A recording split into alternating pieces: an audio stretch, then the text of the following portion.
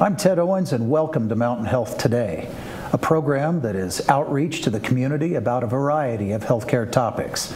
Today, our guest is the CEO of Tahoe Forest Health System, Mr. Harry Weis. We'll be back in just a moment.